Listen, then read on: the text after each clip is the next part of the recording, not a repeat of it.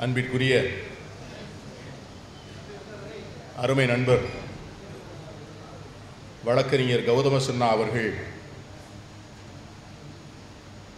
மிகுந்த தயாரிப்புடனும் பொறுப்புடனும் கடின உழைப்புடனும் திரட்டப்பட்ட தகவல்களையும்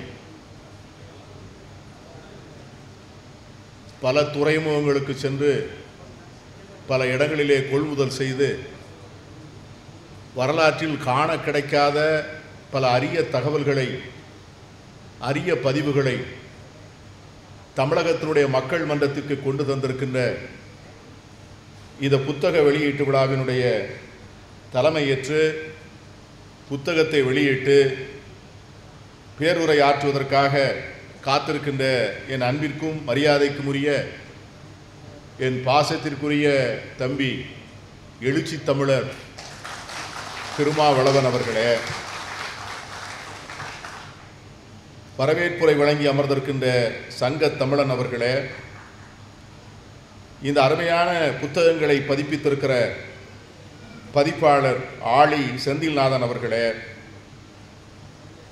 அரை நூற்றாண்டு காலத்திற்கும் அதிகமாக ஒரு பொது உடைமை போராளியாய் தன்னை அடையாளம் கண்டு மாசு மருவில்லாத பொது வாழ்க்கைக்கு சொந்தக்காரராக இருக்கின்ற என் அன்பிற்குரிய நண்பர் தோழர் மகேந்திரன் அவர்களே அருமைக்குரிய பசுமை தமிழகம் கட்சியினுடைய தலைவர் அன்பிற்குரிய சகோதரர் சுப உதயகுமார் அவர்களே தமிழ் மரபு அறக்கட்டளையினுடைய தலைவர் டாக்டர் சுபாஷினி அவர்களே இந்த நல்ல புத்தகங்களை தமிழகத்திற்கு தந்திருக்கின்ற என் அருமை நண்பர் கௌதம சன்னா அவர்களே. இங்கே அரங்கத்திலே அமர்ந்திருக்கின்ற என் அன்பிற்குரிய நண்பர்களே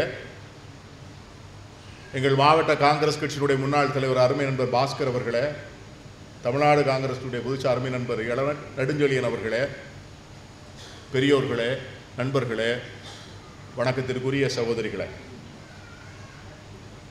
உங்கள் அனைவருக்கும் எனது அன்பான வணக்கத்தையும் வாழ்த்துக்களையும் தெரிவித்துக் கொள்கிறேன். இந்த நான்கு புத்தகங்களை பற்றி தன்னுடைய உரையினுடைய முடிவின் போது நண்பர் சுப உதயகுமார் அவர்கள் ஒரு அருமையான கருத்தினை பதிவு செய்தார்கள். பொதுவாக வரலாறு படிப்பதற்கான சமூகமாக நமது சமூகத்தை நாம் உருவாக்கி கொள்ளவில்லை. இன்று கல்லூரிகளிலே போய் வரலாற்று பாடம் படிக்க ஆசைப்படுகின்ற மாணவர்கள் யாராவது இருக்கிறார்களா என்று கேட்டால் வரலாற்று பாடங்களை கொள்வாரும் இல்லை கேட்பாரும் இல்லை. வரலாறு படிப்பதற்கு ஆசைப்படக்கூடிய சமூகமாக நாம் அதை திரட்டவில்லை. பிள்ளைகளை பெற்ற பெற்றோர்கள் கூட தங்களது மகனோ மகளோ வரலாற்று பாடம் படிக்க வேண்டும் என்று ஆசைப்பட்டால் கூட பிழைப்புக்கு உதவி செய்கின்ற படிப்பு படிக்க வேண்டும். நீ ஒரு சாஃப்ட்வேர் இன்ஜினியர் ஆகலாம் ஒரு டாக்டர் ஆகலாம் ஒரு வழக்கறிஞர் ஆகலாம் ஒரு ஆடிட்டர் ஆகலாம் ஆனால் வரலாறு படித்து என்ன செய்ய போகிறாய்? அது எதற்கு பயன்படும் என்கிற கேள்விதான் ஒவ்வொரு சராசரி குடும்பத்திலும் சொல்லப்படுகிறது. ஒரு தனி மனிதனுக்கு வரலாறு தேவைப்படாமல் இருக்கலாம். ஆனால் ஒரு சமூகத்திற்கு வரலாறு நிச்சயம் தேவைப்படுகிறது. ஒரு சமூகம் தான் நடந்து வந்த பாதையை தெரிந்து கொண்டால்தான் இந்த சமூகம் இன்று சமைக்கப்பட்டிருக்கிற நிலைக்கு இதை தூக்கி சுமப்பதற்காக தங்களுடைய வாழ்க்கை முழுவதும் பழி கொடுத்த மிகப்பெரிய தியாக சீலர்களுடைய வரலாறுகள் அவர்கள் கண்ட போராட்டங்கள் அவர்களுடைய சாதனைகள் சவால்கள் அவர்கள் அதற்காக ஏற்றுக்கொண்ட தியாக தழும்புகள் அந்த கால நிகழ்வுகள் அந்த கால சூழ்நிலை இதையெல்லாம் ஒரு சமூகம் தெரிந்து கொள்ளவில்லை என்று சொன்னால் இந்த சமூகத்திற்கு நிகழ்காலம் இல்லை என்று சொல்ல there is no past there is no present and there is no future Gautama சன்னாவை நான் பாராட்டுகிறேன். நான் முதலில் வந்து அவர் என்னிடம் இந்த புத்தகங்களை கொடுத்து இதை வெளியீட்டு விழாவுக்கு அளித்த போது நான் இந்த புத்தகத்திலே இவ்வளவு பெரிய செய்திகள் இருக்கும் என்று நான் உள்ளபடியே எதிர்பார்க்கவில்லை. இருந்தால் இப்பொழுது எல்லோருக்கும் ஒரு ஆசை வந்திருக்கிறது. ஒரு புத்தகத்தை எழுதிவிட்டு ஒரு நாள் அதை வெளியிட்டு அதை பத்திரிகைகளுக்கு படம் கொடுத்து விட்டு பிறகு அந்த புத்தகத்தை அவரும் படிப்பதில்லை அதை வாங்கியவர்களும் படிப்பதில்லை அதை பற்றி யாரும் எதுவும் யோசிப்பதில்லை. ஆனால் வாழ்க்கையில் பயோடேட்டாவில் போட்டிங்கன்னா ஆதராக ஃபார்ட்டி சிக்ஸ் புக்ஸ்னு போடுவாங்க. ஆகவே ஒரு சராசரி புத்தகமாகத்தான் இது இருக்குமோ என்று எண்ணித்தான் நான் இந்த புத்தகங்களை வாங்கி புரட்ட ஆரம்பித்தேன். ஆனால் புரட்டிய பிறகு என் அருமை நண்பர்களே நான் அதிகம் வாசிப்பவன். ஒரு நாளைக்கு சராசரியாக நான்கு மணி நேரம் படிக்கிறேன். நான் இதுவரை என் வாழ்வில் படிக்காத தகவல்களை நம்முடைய கௌதம சன்னாவினுடைய புத்தகத்தின் தெரியும் இதை நான் சொல்லி ஆக வேண்டும். பொதுவாக சுதந்திர இந்தியாவிலே நம்ம எல்லோருக்கும் இன்று ஏற்பட்டிருக்கிற நெருக்கடி இருக்கிறது அல்லவா? அந்த நெருக்கடி சுதந்திர இந்தியாவுடைய வரலாற்றிலே இதுவரை நமக்கு ஏற்படவில்லை. இன்னைக்கு சில அடையாளங்கள் நமக்கு இருக்கின்ற அடையாளங்கள். இந்த அடையாளங்களை சுமந்து கொண்டு இந்த நாட்டிலே ஒரு கண்ணியமிக்க குடிமகனாக மரியாதையுள்ள குடிமகனாக கேன் ஐ வித் டிக்னிட்டி நான் மாண்போடு வாழ முடியுமா என்கிற கேள்வி நம்மில் அநேகருக்கு இருக்கிறது. சமூகத்தில் இருக்கின்ற விளிம்பு நிலை மக்களுக்கு இருக்கிறது. சமூகத்தில் இருக்கிற ஒடுக்கப்பட்ட மக்களுக்கு இருக்கிறது. சமூகத்தில் இருக்கின்ற சிறுபான்மை மக்களுக்கு இருக்கிறது. ஆகவே இப்படிப்பட்ட சமூகத்திலே இருக்கின்ற மக்களுக்கு முழுவதுமாக ஒரு அவநம்பிக்கை ஏற்பட்டிருக்கிறது பதட்டம் ஏற்பட்டிருக்கிறது. இந்த ஷாருக்கான் என்கிற நடிகர் கூட சொன்னார் நான் இந்த நாட்டில் நம்ம இருக்க முடியுமான்னு தெரியல. உடனே அதற்காக அதுக்கு பிறகு ச- சமூக ஊடகங்களிலே ஏகப்பட்ட ட்ராலிங் அதற்கு பிறகு அவரது மீண்டும் அந்த வார்த்தையை சொல்லக்கூட முடியல. அப்படிப்பட்ட சூழ்நிலையிலே இந்த புத்தகங்கள் நமக்கு பேர் உதவியாக இருக்கும் என்று நான் சுட்டிக்காட்ட ஆசைப்படுறேன். இந்த புத்தகங்கள் முதலில் என்ன சொல்லும் என்று சொன்னால் நமக்கு சொல்லும் உனக்கு ஒன்றும் நடப்பது ஒன்றும் புதிதல்ல. இந்த சமூகம் இந்த சமூகத்தை சார்ந்தவர்கள் தங்கள் வாழ்க்கையில் சந்திக்காத எந்த பெரிய சோதனையையும் நீங்கள் இப்பொழுது சந்திக்கவில்லை. இதைவிட கொடுமையான சோதனைகளை எல்லாம் அவர்கள் சந்தித்திருக்கிறார்கள். வரலாறு நமக்கு சொல்லுகிறது. நம்பிக்கை தருகிறது. அவ்வளவு பெரிய சோதனைகளில் இருந்து மீண்டவர்கள் அவ்வளவு பெரிய வேதனைகளின் மூலமாக வெளிப்பட்டவர்கள் அவ்வளவு பெரிய சவால்களை சமாளிப்பதற்கு அவர்களால் அந்த காலத்தில் முடியும் என்று சொன்னால் நம்மால் இந்த காலத்தில் நிச்சயமாக அணிதிரண்டால் ஒருங்கிணைந்தால் நல்ல தலைமை கிடைத்தால் அதை செய்ய முடியும் என்கிற நம்பிக்கை நமக்கு இந்த புத்தகங்கள் கொடுக்கணும். அதான் இந்த புத்தகத்தினுடைய முக்கியம். தயவு செய்து இதை நீங்கள் எல்லாம் படிக்க வேண்டாம். நாலு புத்தகங்களை பற்றியும் உரையாற்றுகின்ற நான் படித்துட்டேன் நாலு புத்தகத்தையும் படிச்சிட்டேன். ஆனால் நீங்கள் இப்போ நாலு புத்தகத்தை பற்றி உரையாற்ற போகிறோம்னு சொன்னால் பாதி பேர் எழுந்துச்சு அப்படியே போயிடுவீங்க. நான் தான் நம்முடைய எழுச்சி தமிழரிடம் சொன்னேன். பொதுக்கூட்டங்கள் நடத்துவதற்கு நம்மெல்லாம் ஒரு சூத்திரம் வச்சுக்கணும்.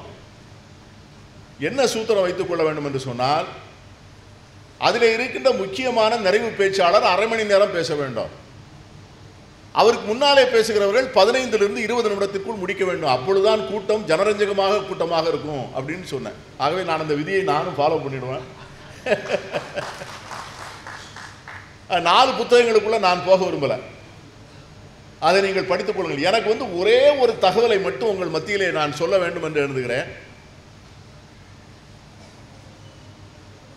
ரெட்டமலை சீனிவாசன் என்று ஒரு அருமையான புத்தகம் இருக்கிறது. நான் இவரது பெயரை கேள்விப்பட்டிருக்கிறேன். தலித்து விடுதலை அரசியலில் ஒடுக்கப்பட்ட தாழ்த்தப்பட்ட மக்களுடைய போராட்ட வாழ்க்கையில் இவருடைய பங்கு மகத்தானது என்பதை மேலோட்டமாக அறிவேனே ஒழிய அந்த மனிதனுடைய வாழ்க்கை போராட்டத்திற்குள்ளே போய் உள்ளே போய் பார்க்கின்ற அந்த வாய்ப்பு எனக்கு கிடைக்கவில்லை. சுதந்திர போராட்ட வரலாறு காங்கிரஸ் கட்சியினுடைய சரித்திரம் வட்டமேஜை மகாநாடு என்பதை பற்றிய தகவல்களை படிக்கின்ற போது வட்டமேஜை மகாநாட்டிற்கு ஒடுக்கப்பட்ட மக்களுடைய பிரதிநிதியாக பாபா சாஹேப் டாக்டர் அம்பேத்கர் அவர்களோடு சென்றவர் ரெட்டமலை சீனிவாசன் என்பது மட்டும்தான் எனக்கு தெரியும்.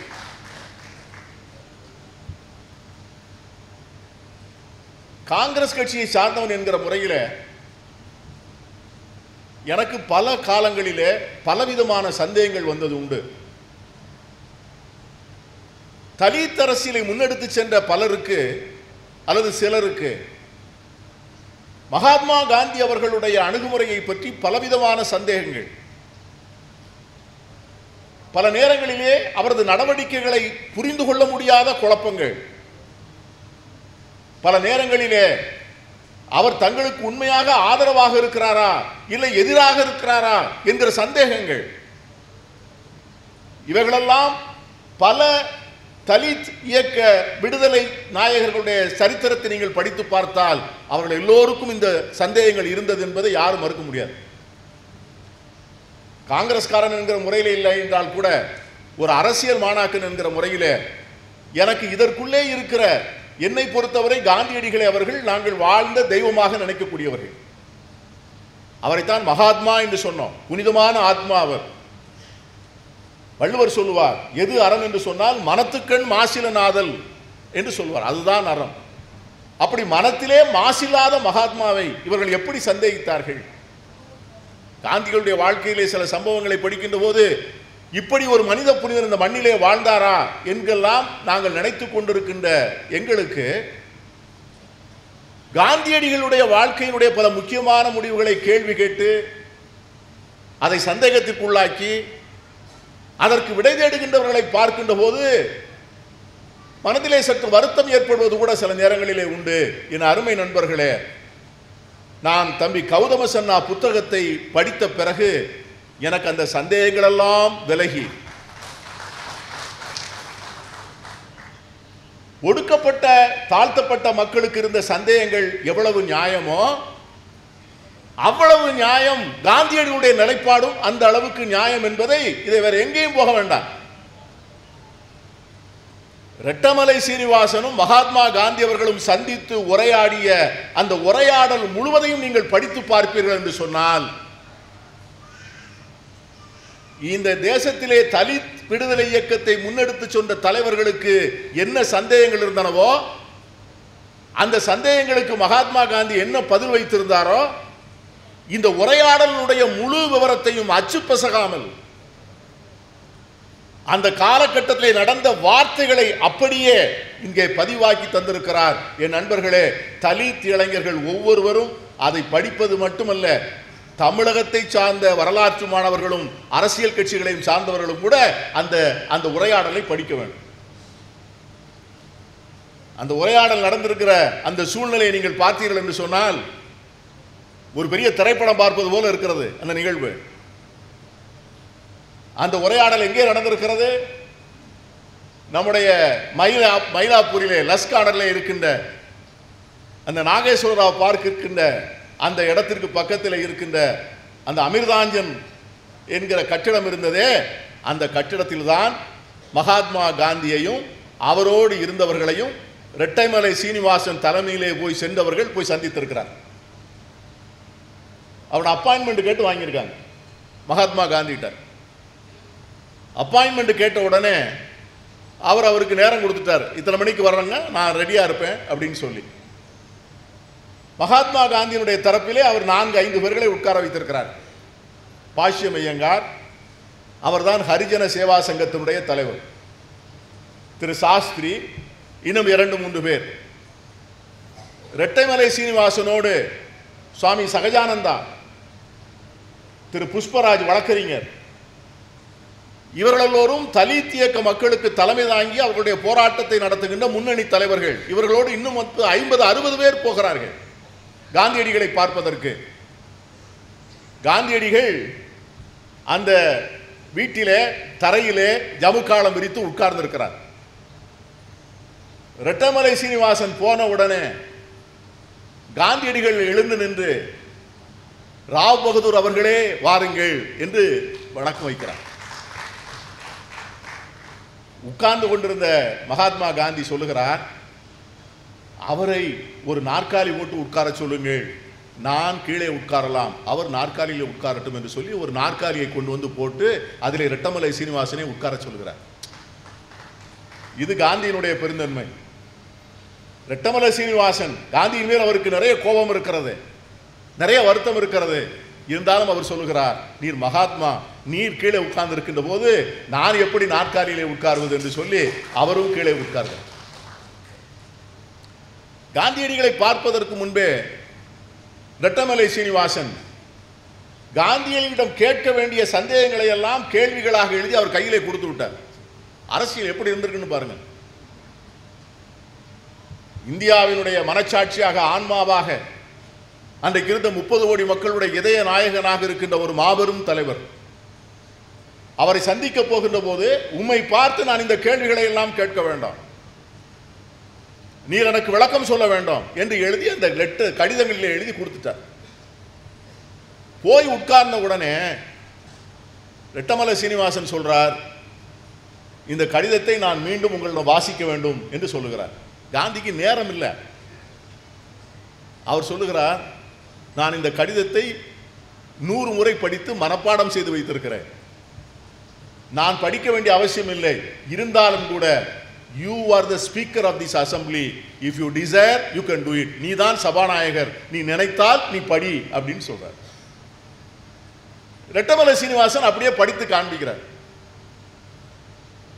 அதில் கேள்விகள் கேட்கிறார். இந்த பூனா ஒப்பந்தம் எரவாடா ஒப்பந்தம் என்பதை பற்றி நம்முடைய மரியாதைக்குரிய சகோதரர் திருமாவளவன் பேசியதை நான் நிறைய கேட்டிருக்கிறேன். பாபா சாஹேப் அம்பேத்கர் அவர்களுடைய வாழ்க்கையிலே ஒரு மிகப்பெரிய போராட்ட களத்திலே அது ஒரு முக்கியமான காலகட்டம். காங்கிரஸ் கட்சிக்கும் தலித் விடுதலை அரசியலை முன்னெடுத்து சென்றவர்களுக்கும் உள்ள கருத்து வேறுபாடு இருந்த ஒரு மிகப்பெரிய காலகட்டம். அதில் பாபா சாஹேப் டாக்டர் அம்பேத்கர் அவர்களும் அவரோடு இருந்தவர்களும் என்ன சொல்கிறார்கள் என்று சொன்னால் தலித் மக்களுக்காக ஒதுக்கப்பட்ட அந்த ரெட்டன் மெம்பர் தொகுதிகளிலே அந்த தலித் இயக்க வேட்பாளருக்கு தலித் மக்கள் மட்டுமே வாக்களித்து அவர்கள் அஹ், தேர்ந்தெடுக்கப்பட வேண்டும் என்பதுதான் பாபா சாஹேப் அவர்கள் நிலைப்பாடு. சரிதானே நான் சொல்றது? காந்தியடிகள் என்ன சொல்லுகிறார் என்று சொன்னால் தலித் மக்களுக்கான இடஒதுக்கீடு கொடுப்பதில் எனக்கு ஆட்சேபனை இல்லை. ஆனால் அவர்கள் தலித் மக்கள் மட்டுமே வாக்களித்து வெற்றி வருகின்ற வேட்பாளர்களாக அவர்கள் இருக்கக்கூடாது. அது இன்னும் ஒரு தீண்டாமை ஆகிவிடும். எல்லா மக்களும் சேர்ந்து வாக்களித்து எடுக்கப்படுகின்ற வேட்பாளர்களாக அவர்கள் இருக்க வேண்டும் என்று காந்தியடிகளுடைய நிலைப்பாடு. ஆனால் பாபா சாஹேப் டாக்டர் அம்பேத்கர் என்ன சொல்கிறார் என்று சொன்னால் எல்லா மக்களும் சேர்ந்து வாக்களிக்கின்றவரை நீங்கள் வேட்பாளராக நீங்கள் தேர்ந்தெடுத்தால் அவர்கள் நிச்சயமாக ஒரு தலித் போராளியாக இருக்க மாட்டார். தன்னுடைய சுயமரியாதையை தன்னுடைய கவனத்தை எல்லாம் மற்ற மாற்று சமுதாயத்தினிடம் அடகு வைப்பாரே ஒழிய தலித் மக்களுக்காக அவர் போராட மாட்டார் என்பது இவர்களுடைய நிலைப்பாடு. கடைசியில் பிரிட்டிஷ் அரசாங்கம் பாபா சாஹேப் டாக்டர் அம்பேத்கர் அவர்கள் சொன்னதை ஏற்றுக்கொண்டது. உன்னை காந்தியடிகள் என்ன சொல்கிறார் என்று சொன்னால் நான் அதை ஒரு நாளும் உடன்பட மாட்டேன். நான் சாகும் வரை உண்ணாவிரதம் இருக்க போகிறேன் என்று உண்ணாவிரதத்தை ஆரம்பித்து விட்டார். நீங்கள் அந்த காலத்தில் பாபா சாஹேப் அம்பேத்கர் அவர்களுக்கும் ரெட்டமலை சீனிவாசன் போன்றவர்களுக்கும் எவ்வளவு மனது பரந்த மனது என்று சொன்னால் தங்கள் நிலைப்பாடு இப்படி இருந்தாலும் கூட தேசத்திற்காக எதையும் எதிர்பார்க்காமல் தன்னிடம் இருக்கின்ற அத்தனையும் இழக்கின்ற இந்த மாபெரும் தலைவன் உண்ணாவிரதம் இருந்து வருந்துவிடக்கூடாது என்பதற்காக இரண்டு பேரும் ஒரு உடன்பாட்டிற்கு வருகிறார்கள். அந்த உடன்பாட்டிலே ஒதுக்கப்பட்ட தொகுதிகள் இரண்டு மடங்காக உயர்த்தப்படுகின்றன. எல்லா மக்களும் வாக்களிக்கப்படுகின்ற தொகுதிகளாக அவை மாறி இருக்கின்றன நான் இன்னைக்கு ஒரு ஆராய்ச்சி பண்ணுகிறேன். ஒருவேளை இன்னும் அந்த நிலைப்பாடு தொடர்ந்தால் இன்னும் இரட்டை மெம்பர் தொகுதிகள் நீடித்தால் அந்த இரட்டை மெம்பர் தொகுதியிலே இருக்கின்ற தாழ்த்தப்பட்ட ஒடுக்கப்பட்ட பட்டியலின வேட்பாளருக்கு அந்த சமூகத்து மக்கள் மட்டும் வாக்களித்தால் இந்த சட்டமன்ற தொகுதிகளினுடைய நிலைமை எப்படி இருக்கும் என்று நான் சிந்தித்து பார்க்கிறேன். அந்த தொகுதிகளுடைய செயல்பாடுகள் மட்டுமல்ல அந்த சட்டமன்ற தொகுதியில் இருக்கின்ற மக்கள் தேர்தல் முடி தேர்தல்கள் தான் ஜாதி கலவரங்களினுடைய ஆரம்ப புள்ளிகள். தேர்தல்கள் இல்லை என்று சொன்னால் ஜாதிகள் இல்லை. தேர்தல்கள் இல்லை என்றால் ஜாதி மோதல்கள் இல்லை. ஜாதிய வாக்கு வங்கிகளை உருவாக்குவதற்காகத்தான் இன்று ஜாதி போராட்டங்கள் நடக்கின்றன என்கிற அடிப்படையான விஷயத்தை நாம் தெரியாதவர்கள் அல்ல. ஆகவே அப்படிப்பட்ட நிலை இன்று இல்லாதது இந்திய அரசியலுக்கு இன்றைய தமிழ் சமூகத்திற்கு இன்றைய தமிழ் தலித் இனத்திற்கு ஒரு வகையிலே அது நல்லது என்பதுதான் என்னுடைய நிலைப்பாடு. காந்தியடிகளை பார்க்கின்ற போது காந்தியடிகளிடம் இந்த கேள்வியெல்லாம் கேட்கிறார். அப்ப காந்தியடிகள் சொல்லுகிறார் எந்த தொகுதியில? ரெட்டைமலை சீனிவாசன் கேட்கிறார் நீங்கள் வந்து எங்க வேட்பாளரை வந்து நீங்கள் தோற்கடித்தால் உங்கள் அரிஜன சேவா சங்கம் என்ன செய்யும் என்று கேட்கிறார். காந்தியடிகள் சொல்லுகிறார் அரிஜன மக்களுடைய நலம் நாடுகின்ற வேட்பாளர்கள் மாற்று ஜாதியினரால் தோற்கப்படக்கூடிய சூழ்நிலை வந்தால் அரிஜன சேவா சங்கத்தை சார்ந்த எங்கள் தொண்டர்கள் உங்களுடைய வேட்பாளருடைய வெற்றிக்காக பாடுபடுவார்கள் என்பது உண்மை நேர்மை சத்தியம் என்று உறுதி கொடுக்கிறார். அடுத்து கேட்கிறார் அட்டமலை சீனிவாசன். எங்களுக்கு இந்த அரசாங்கம் ரொம்ப வேண்டிய அரசாங்கம் பிரிட்டிஷ் அரசாங்கம். இன்னைக்கு உங்களை விட அவர் உங்கள் என்று சொன்னால் காந்தியடிகளை என்ன நினைக்கிறார் என்று சொன்னால் தலி தள்ளாத மக்களுடைய பிரதிநிதியாகத்தான் காந்தியடிகளை அவர் பார்க்கிறார். அவரிடம் கேட்கிறார் எங்களுக்கு அரசாங்கம் வந்து இந்த ஆண்டு பத்து லட்சம் ரூபாய் கொடுத்திருக்கிறது. எங்கள் மாணவர்களுக்கு கல்வி உதவித்தொகைக்காக எங்களுடைய பள்ளிக்கூட கட்டிடங்கள் கட்டுவதற்காக ஒடுக்கப்பட்ட மக்களுடைய சமூக முன்னேற்றத்திற்காக பத்து லட்சம் ரூபாய் கொடுத்திருக்கிறது. ஆசிரியர் பணிக்கு பயிற்றுவிக்கப்படுகிறார்கள் வேலை வாய்ப்புகளை கொடுக்கிறார்கள். உங்கள் அரிஜன சேவா சங்கம் அதை மாற்று சமூகத்தினர் அதை இடைஞ்சல் செய்து கெடுக்காமல் பார்த்துக் கொள்வதற்கான உத்தரவாதத்தை நீங்கள் தர வேண்டும் என்று காந்திகளிடம் கேட்கிறார். காந்தியடிகள் சொல்லுகிறார் நீங்கள் கேட்பது நியாயம். நீங்கள் சொல்வதிலே உண்மை இருக்கிறது. அப்படிப்பட்ட சூழ்நிலை வருகின்ற போது நான் சொல்லுகிறேன் பிரிட்டிஷ் அரசாங்கத்தோடு நான் எதிரி. என்னை பொறுத்தவரை பிரிட்டிஷ் அரசாங்கம் ஒரு கொடுமையான அரசாங்கம். ஆனால் அந்த அரசாங்கம் தலித் மக்களுக்கு செய்கின்ற உதவியையோ அவர்களுக்கு செய்கிற மற்ற வசதிகளையோ நாங்கள் ஒரு நாளும் கேட்க மாட்டோம். அவர்கள் செய்வதை அவர்கள் செய்யட்டும். நாங்கள் செய்வதை நாங்கள் செய்வோம் என்று காந்தியடிகள் உறுதியளிக்கிறார். கடைசி கேள்விதான் ரொம்ப முக்கியமான கேள்வி. எங்களை ஏன் நீங்க ஹரிஜன் அழிச்சிங்கன்னு கேட்குறாங்க நீங்க நிறைய பேருக்கு அந்த கேள்வி இருக்கு. அநேக தலித் இளைஞர்கள் அந்த கேள்வியை கேட்கிறாங்க. எங்களுக்கு ஏன் அந்த பேரு? ஹரிஜன்கிற பேரு. காந்தியடிகள் எப்படி எங்களை ஹரிஜன் என்று அழைக்கலாம்? ஹரிஜன் என்று அழைப்பதற்கு எங்களுடைய அனுமதியை கேட்டாரா காந்தியடிகள்? இப்படி பல கடங்களிலே பல தளங்களிலே அந்த கேள்விகள் வருவதை நான் பார்த்திருக்கிறேன். அதை ரெட்டைமலை சீனிவாசன் நேரடியாகவே கேட்கிறார். அவர் சொன்னார் நான் தாழ்த்தப்பட்ட தலித் மக்களை கேட்காமல் இந்த பெயர் வைத்தேன் என்று தயவு செய்து நினைக்காதீர்கள். அவருடைய ஆசிரமத்திலே இருந்தவர்கள் மட்டுமல்ல அவருடைய ஆசிரமத்திற்கு வெளியே இருந்து வந்த பல தலித்தறிஞர்கள் அவர்களில் அவர்கள் ஒருவர் தான் சொல்லியிருக்கிறார் உங்களை எப்படி அழைக்கலாம்? என்கிற கேள்வி வைத்தபோது அந்த காலத்திலே மிகவும் பிரபலமாக இருந்த ஒரு கவிஞருடைய கவிதை இதிகாசத்தை மேற்கோளாக காட்டி அவர்தான் அந்த யாருமற்ற மக்களை எந்த வகையிலும் யாரோடும் சேர்க்கப்படாத மக்களை இறைவனின் மக்கள் என்று அறிவித்தார். ஆகவே எங்களை ஹரிஜன் என்று நீங்கள் அழையுங்கள் என்று அவர்தான் சொன்னார். அதன் பேரில் தான் அழைத்தேன் என்று காந்தியடிகள் அதற்கும் விளக்கம் சொல்லுகிறார். இந்த உரையாடல் ஏறக்குறைய ஒன்றரை மணி நேரம் ஒரு இரண்டு மணி நேரம் நடக்கிறது. இந்த இரண்டு மணி நேரம் உரையாடல் முடிந்த உடனே ரெட்டமலை சீனிவாசன் எழுந்து காந்தியடிகளை கைகூப்பி விடைபெறுகிறார். அவர் போகும்போது சொல்லுகிறார் நீங்கள் மகாத்மா நீங்கள் ஹரிஜன சேவா சங்கம் என்று ஒரு அமைப்பு வைத்து எங்கள் சமூகத்தை சார்ந்த இளைஞர்களுக்கும் இளம்பெண்களுக்கும் தேசம் முழுவதும் செய்கின்ற உதவியை பார்த்து நான் உள்ளபடியே மகிழ்ச்சி அடைகிறேன். ஏனென்றால் அதுவரை காங்கிரஸ் கட்சி எப்படி இருந்தது என்று சொன்னால் காந்தியடிகளுக்கு முன்னால் ஒரு மேல்ஜாதி ஆதிக்கமுள்ள ஒரு அரசியல் கட்சியாகத்தான் அரசியல் இயக்கமாகத்தான் இருந்ததே ஒழிய ஒடுக்கப்பட்ட மக்களை உள்வாங்கக்கூடிய இயக்கமாக காங்கிரஸ் கட்சி இல்லை. அந்த பார்வையை நீங்கள் தான் காங்கிரசுக்கு கொடுத்தீர்கள். ஆகவே நீங்கள் நீண்ட நாள் நோய் நொடி இல்லாமல் வாழ்ந்து இந்த நாட்டிற்கு நன்மை செய்ய வேண்டும் என்று சொல்லி ரெட்டைமலை சீனிவாசன் அவர்கள் கைகூப்பி விடைபெறுகிறார். சகஜானந்தாவும் புஷ்பராஜும் அவரை காலை தொட்டு வணங்குகிறார்கள். ராவ் பகதூர் அவர்களே போய் வாருங்கள் என்று கட்டி தழுவி விடை கொடுத்து அனுப்புகிறார். இந்த உரையாடல் நமக்கு சொல்லுகிற செய்திகள் பல செய்திகள். நான் இந்த உரையாடலை இதுவரை வேறு எங்கேயுமே என்னால் நான் படித்ததில்லை.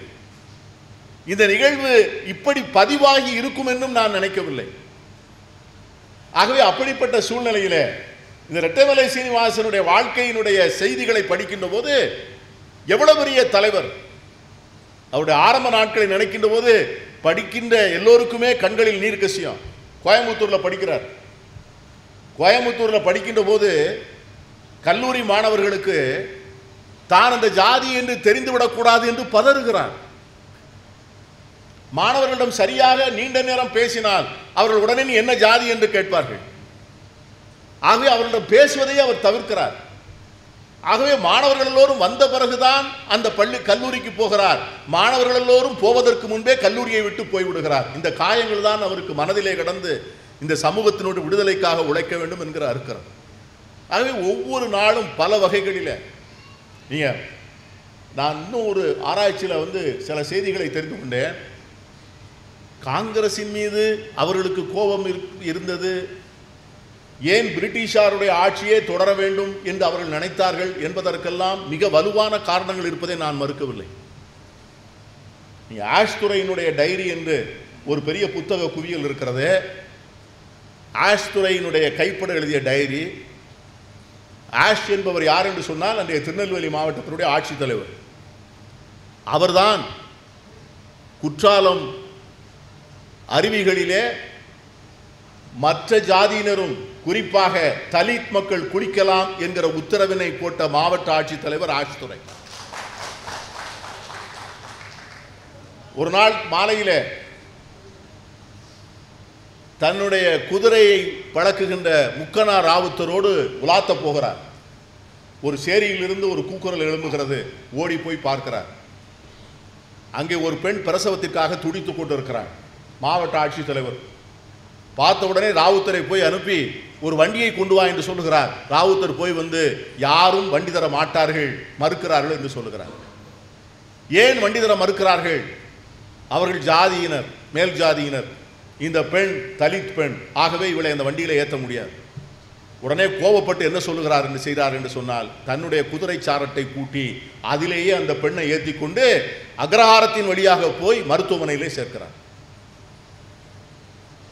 அதற்கு பிறகுதான் அந்த கொலை நடக்கிறது. ஆகவே இந்த வருத்தங்கள் இந்த காயங்கள் இந்த சாதாரண தலித் மக்களுக்கு இல்லாமல் எப்படி இருக்கும்? அதனுடைய வெளிப்பாடுகளைத்தான் காந்தி மருந்து போட்டு ஆற்றி அதை சமரசப்படுத்த நினைக்கிறார். இன்னைக்கு கூட எனக்கு வந்து வந்து ஒரு இடத்துல வந்து அந்த புத்தகத்தினுடைய நோக்கத்தை வந்து நண்பர் எழுதுகிறார். அதுல வந்து அவர் சொல்லுகிற வார்த்தை காரணங்கள் வந்து எனக்கு வந்து ரொம்ப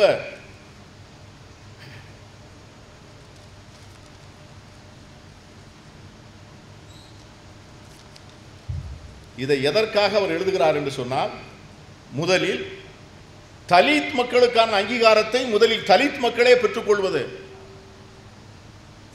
அதற்கு அடுத்து தலித் மக்களுக்கு இருக்கின்ற அதிகாரத்தை மாற்று சமூகத்தினரை ஏற்றுக்கொள்ள வைப்பது. இந்த இரண்டு தான் இந்த புத்தகங்களுடைய நோக்கம் என்று சொல்லுகிறார். நண்பர் திருமாவளவன் கூட எனக்கு கூட ஒரு போன கூட பெரிய பெருமை அளித்தார். எனக்கு காமராஜர் கதிர் என்று ஒரு பட்டம் அளித்து என்னை பெருமைப்படுத்திய அருமைக்குரிய நண்பர் அவர். நான் அப்போ தான் சொல்லுவேன் நான் அடிக்கடி திருமா அவர்களை பார்க்கின்ற போதெல்லாம் நினைப்பேன். இப்படிப்பட்ட தலைவர் ஒரு சமூகத்தை மட்டுமே சார்ந்த தலைவராக எப்படி இருக்க முடியும்? ஒட்டுமொத்த தமிழ் சமூகமும் அவரை அணைத்து கொண்டாட வேண்டும் அல்லவா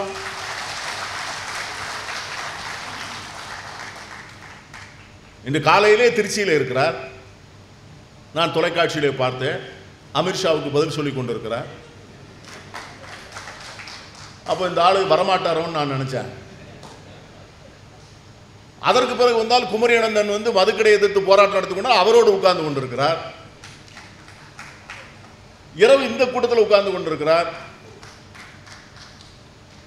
ஒரு ஒரு சின்ன ஒரு சம்பவம் தான் எனக்கு ஒரு செய்தி படித்த ஞாபகத்தில் வந்தது. இந்த துருவங்களில் வந்து பேர்ன் என்று ஒரு பறவை இருக்கிறது.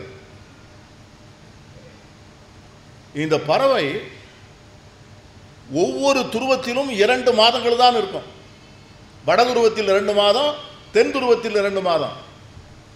மீதி எட்டு மாதங்களும் இந்த துருவங்களுக்கு இடையிலே அது பறந்து கொண்டே இருக்கும். எட்டு மாதங்களும் பறந்து கொண்டே இருக்கும். அதே போலதான் நண்பர் திருமாவளவன் வாழ்க்கை முழுவதும் பறந்து கொண்டே இருக்கும். அது அப்பப்போ நான் சொல்லுவேன். நாங்கள்லாம் இடையில ஒரு பெரிய முயற்சி பண்ணி ஒரு கல்யாணம் பண்ணணும்னு முடிவு பண்ணோம். என் கலைஞர் அவரே லேசாக சொல்லி பார்த்தாரு. ஐயா மூப்பனார் அவர்கள் அதை விட ஆசைப்பட்டார் அதனால் உங்களை உடம்பை பார்த்து கொள்ள மேல் வலிக்கிறதா? உடம்பு சுடுகிறதா? வயிறு வலிக்கிறதா? தாகம் இருக்கிறதா? என்று கேட்டு அணைத்து கொள்வதற்கு கரங்கள் இல்லை. இந்த சமூகம்தான் அந்த பொறுப்பை ஏற்றுக்கொண்டு அவரை ஆற்றுகிறது கௌதம சன்னாவை போன்ற ஒரு இயக்கத்திற்கு யாரெல்லாம் தேவையோ அவர்களை எல்லாம் அடையாளம் என்று சேர்த்து வைத்திருக்கிறார். ஒரு இயக்கத்திற்கு வந்து எல்லோரும் வேண்டும். ஒரு இயக்கம் எப்படி நடத்துவது என்றால் அதற்கு வந்து சிந்தனையாளர்கள் வேண்டும் எழுத்தாளர்கள் வேண்டும் ஆட்களை திரட்டுகிறவர்கள் வேண்டும் விளம்பரம் செய்கிறவர்கள் வேண்டும் பொதுக்கூட்டங்களிலே பேசுகிறவர்கள் வேண்டும் ஊர்வலம் நடத்துவதற்கு மிகப்பெரிய செய் திளை திட்டங்களை நிறைவேற்றுகிறவர்கள் வேண்டும் மக்கள் மத்தியில் எடுத்து செல்வதற்கான களப்பணியாளர்கள் வேணும். இவர்கள் எல்லோரையும் சேர்த்தது தான் ஒரு இயக்கம். அந்த வகையில் நம்முடைய கௌதம சின்னா அவர்கள் இந்த விடுதலை சிறுத்தைகள் இயக்கத்திற்கு ஒரு சிந்தனை தொட்டியாக இருக்கிறார் என்பதை நான் இந்த இந்த ஒரு புத்தகம் அருமையான புத்தகம் எழுதியிருக்கிறேன். அந்த புத்தகத்தில் இருக்கிற கட்டுரையெல்லாம் நிறையா படித்தேன். அதில் வந்து கலகத்தின் மறைபொருள் அப்படின்னு எழுதியிருக்கிறார். அந்த கலகத்தின் மறைபொருளில் அது நிறையா கட்டுரை ஒரே ஒரு கருத்து. அதில் ஒரு இடத்துல வந்து எப்படி வருதுன்னு கேட்டிங்கன்னா தனி மனித உரிமைகளுக்கும் மனித உரிமைகளுக்கும் நடக்கின்ற போராட்டம். தனி மனித உரிமைன்னா என்ன? மனித உரிமைன்னா என்ன? எனக்கு இதுவரைக்கும் அந்த சிந்தனை வரல. அவர் என்ன சொல்றாரு அம்பேத்கர்? நான் முதலில் மனிதனாக இருந்தால் தானே எனக்கு தனி மனித உரிமை வரும். என்னத்தான் நீ மனிதனாகவே ஏற்றுக்கொள்ளவில்லையே பிறகு என்ன தனி மனித உரிமைன்னு கேட்கிறார் அந்த இடம் எனக்கு ரொம்ப பிடிச்சிருந்தது. ஆகவே தனி மனித உரிமையை விட மனித உரிமைகள் அதிக முக்கியத்துவம் பெறுகின்றன. அதான் அந்த பிசிஆர் ஆக்ட்லாம் அதுதான் வரும். Protection of civil rights act அது வந்து தனி மனித உரிமைகளோட மிக சக்தி வாய்ந்த சட்டங்கள். ஆகவே அதை போன்ற சிந்தனை தொகுப்பான கட்டுரைகள் நம்முடைய இளைஞர்கள் இதையெல்லாம் படைக்க வேணும். நீங்கள் ரெட்டமல சீனிவாசன் அவர்கள் ஏன் பிரிட்டிஷ் அரசாங்கத்தாரை அவ்வளோ தூரம் கொண்டாடினார் என்பதற்கு சொல்கிறார் வட்டமேஜ மாநாட்டில் போய் அங்கே பிரிட்டிஷ் பேரரசருடைய மாளிகையில் போய் உட்கார்ந்துருக்கிறார். பிரிட்டிஷ் பேரரசரும் ராணியாரும் அவரை அழைத்து அவரோடு உரையாடுகிறார்கள். அவருக்கு நம்ப முடியல. இந்தியாவினுடைய கடைக்கேடி ஒரு சிறிய கிராமத்திலே இருந்து லண்டன் மாநகர் வந்து சூரியனே அடையாத மாபெரும் சாம்ராஜ்யத்தின் சக்கரவர்த்தியாகிய பேரரசர் தன் கையை பிடித்து குலுக்கி என்ன சீனிவாசன் ஹவ்வாரியும் என்று கேட்கிறாரே. இதை விட வாழ்க்கையில் என்ன பெரிய பாக்கியம் வேணும்? இதை இந்தியாவில் யார் எனக்கு கொடுப்பார்கள் என்று கேட்கிறார். அது இன்னும் ஒரு வார்த்தை சொல்லுகிறார். இது எனது சமூகம் எனக்கு தந்த அங்கீகாரம் அல்லவா? என்று அதை கடைசி ஸோ இதை போன்ற நிறைய நிகழ்வுகள். இதெல்லாம் நான் எல்லாம் சொல்லிட்டா புத்தகம் ஒருத்தர் வாங்க மாட்டீங்க. அதனால் என் அருமைக்குரிய சகோதரர் கௌதம் சன்னா அவர்கள் ஒரு அற்புதமான படைப்பை தந்திருக்கிறார். அந்த படைப்பை தருவதற்காக அவரை கூர்தீட்டி பழக்கி இருக்கிறார் என் அன்பிற்குரிய இளவல் திருமா அவர்கள் விடுதலை சிறுத்தை இயக்கத்தை சார்ந்த நண்பர்கள் எல்லோரையும் பாராட்டி புத்தக ஆசிரியர் நெஞ்சம் நிறைய வாழ்த்தி விடைபெறுகிறேன். நன்றிவன் உரையை ஆற்றிருக்கின்ற தமிழகத்தினுடைய எழுச்சி தமிழன் என்கின்ற முழுமையை பெற்றிருக்கக்கூடிய ஆருயிர் தோழர் டாக்டர் தொல் திருமாவளவன் அவர்களே உரையாற்றி சென்றிருக்கக்கூடிய காங்கிரஸ் பேரியக்கத்தினுடைய மூத்த தலைவர் பீட்டர் அல்ஃபோன்ஸ் அவர்களே ஒரு அர்ப்பணிப்பு மிகுந்த சுற்றுச்சூழலாளராகவும் தமிழக மக்களுடைய நேயராகவும் விளங்கக்கூடிய பெருமதிப்பிற்குரிய சுப உதயகுமார் அவர்களே மிக சிறந்த உரையை ஆற்றி அமர்ந்திருக்கக்கூடிய பெருமதிப்பிற்குரிய டாக்டர் கா. சுபாஷினி அவர்களே அரிய இந்த நூல் வெளியீட்டு விழாவிலே பங்கேற்று கடைசியில் ஏற்புரை நிகழ்த்துகிறாரா இல்லையா என்பதை தெரியவில்லை. இந்த விழாவினுடைய நாயகனாக இருக்கக்கூடிய கௌதம சன்னா அவர்களே இனிய நண்பர்களே தோழர்களே உங்கள் அனைவருக்கும் முதலில் என்னுடைய வணக்கத்தையும் நன்றியும் நான் தெரிவித்துக் கொள்கின்றேன். முதலில் சுபாஷினி அவர்களுக்கு நான் இந்த மேடையிலே நன்றி சொல்ல விரும்புகின்றேன். உலக அளவில் பல தீமைகளை உருவாவதற்கு காரணமாக இருக்கக்கூடிய அந்த பறையா என்ற சொல்லை நீக்க வேண்டும் என்ற ஒரு போராட்டத்தை அவர் முன்மொழிந்திருக்கிறார். முன்மொழிந்தது மட்டுமல்ல அதற்கான ஒரு போராட்டக் களம் அமைக்க வேண்டும் என்பதையும் அவர் வலியுறுத்தி இருக்கிறார் அவருடைய அந்த கருத்தை நான் வழிமொழிகின்றேன். இப்படி ஒரு சொல் எங்கிருந்து வந்திருக்கும் என்பதை நான் யோசித்துக் கொண்டே இருந்தேன். இதற்கு முன்பு நான் கேள்விப்பட்டிருக்கின்றேன். கட்டாயமாக தமிழில் இருக்கக்கூடிய சொற்களை ஆங்கிலத்தில் மாற்றிய யாராவது ஒரு பிராமணர் தான் இந்த வேலையை செய்திருக்க வேண்டும். யாரும் செய்திருக்க முடியாது. ஆராய்ந்து பார்த்தால் தெரியும். கும்பகோணத்தில் இருக்கக்கூடிய ஒரு பேராசிரியர் அடிக்கடி சொல்லுவார் இவர்கள் பேசக்கூடிய ஆங்கிலம் எல்லாம் அந்த ஆங்கில வார்த்தைகள் அனைத்தும் கும்பகோணத்தில் பிராமணர்களால் ஒரு நூற்றம்பது வருடங்களுக்கு முன்பு இதே கல்லூரியில் கட்டியமைக்கப்பட்டவை என்று சொல்லுவார். அப்படி கட்டியமைக்கப்பட்ட சொற்களில் இதுவும் ஒன்றாக இருக்கலாம். இருந்தாலும் இந்த போராட்டத்தை இந்த காலத்தின் தன்மை கருதி நாம் தொடங்க வேண்டும் என்கின்ற உறுதியை இந்த கூட்டத்திலே நாம் ஏற்றுக்கொள்ளலாம். கௌதம சன்னாவை பொறுத்தவரையில் நான் என்ன பேச வேண்டும் என்று அவரிடம் கேட்டேன். அநேகமாக அவர் எனக்கு தவறாக வழிகாட்டிட்டாருன்னு நினைக்கிறேன். காரணம் என்னவென்றால் நீங்கள் எதை பற்றியும் பேச வேண்டாம். கலகத்தின் மறைபொருள் என்ற நூலை பற்றி மட்டும் பேசுங்கள் என்று சொன்னார். இப்படித்தான் மற்றவங்க பேச வந்தவங்கள்ட்டையும் அவர் சொல்லியிருப்பார்னு நினைக்கிறேன். அதனால தான் சுபாஷினியிலிருந்து எல்லாரும் பேசினாங்க. நான் இந்த நூலை பற்றி ஏன் பேச வேண்டும் என்று அவரிடம் கேட்டபோது இந்த நூலில்தான் என்னுடைய அடிப்படையான கருத்துக்களை எல்லாம் நான் முன்வைத்திருக்கின்றேன். ஒரு பொது உடைமை இயக்கத்தை சார்ந்தவர் என்ற முறையிலே உங்களுடைய அபிப்பிராயம் என்ன என்பதை நான் அறிந்து கொள்ள விரும்புகின்றேன். எனவே அந்த நூலை பற்றி நீங்கள் கட்டாயம் பேச வேண்டும் என்று சொன்னார். அந்த நூலை நான் பேச வேண்டும். கலகத்தின் மலை மறைபொருள் என்பது அந்த நூலினுடைய பெயர். கிட்டத்தட்ட சுபாஷினி அவர்கள் இங்கே குறிப்பிட்டதைப் போல ஆயிரத்தி தொள்ளாயிரத்தி தொண்ணூற்றி ஏழில் தொடங்கி கிட்டத்தட்ட அண்மை காலம் வரையில் கிட்டத்தட்ட ஒரு இருபது ஆண்டு கால அரசியலை தலித் மக்களுடைய அரசியலை ஒரு பதினோரு அத்தியாயங்களில் மிக தெளிவாக அந்த நூலிலே அவர் எழுப்பி எழுதியிருக்கிறார். இந்த நூலை படிக்கின்ற போது எனக்கு பல உணர்வுகள் ஏற்பட்டது. ஒன்று இரண்டு அல்ல பல உணர்வுகள் ஏற்பட்டது. அந்த உணர்வுகளில் மிகவும் முக்கியமானது அரசியல் என்பது எல்லா காலங்களிலும் அப்படியே தேங்கி இருப்பது அல்ல ஒவ்வொரு காலத்திலும் அரசியலினுடைய தேக்கத்தை உடைப்பதற்கு சிலர் வருகிறார்கள். அதே போலதான் தலித் அரசியல் என்ற ஒன்றை ஒடுக்கப்பட்ட மக்களுக்கான அரசியலை முன்னெடுப்பதில் அதற்காக பாடுபடுவதில் அதற்காக தன்னை அர்ப்பணிப்பதில் அதற்காக எத்தனை விதமான அவமானங்கள் ஏற்பட்டாலும் கௌரவ குறைவு ஏற்பட்டாலும் அதை எல்லாவற்றையும் பொருட்படுத்தாமல் ஆயிரத்தி தொள்ளாயிரத்தி எண்பதுகளில் துவங்கி இன்று வரை ஒரு தலித் அரசியலுக்கான ஒரு போராட்டத்தை உண்மையாகவும் நேர்மையாகவும் நடத்தக்கூடிய ஒருவர் உண்டு என்று சொன்னால் அவர்தான் நம்முடைய திருமாவளவன் என்பதை நான் இந்த மேடையிலே அறிவிக்கின்றேன். தெரிவித்துக் கொள்வதல்ல இதை அறிவிக்கின்றேன். காரணம் என்னவென்றால் ஒரு அரசியலுக்கும் அதனுடைய சித்தாந்தத்திற்கும் என்ன தொடர்பு இருக்கிறது என்பது மிக முக்கியமான ஒன்று.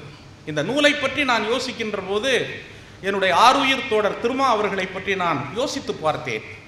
அவருடைய தொடக்க காலம் முதல் நான் அறிவேன். மிக நெருக்கமான காலங்களும் உண்டு தூரத்திலிருந்து பார்த்த காலங்களும் உண்டு.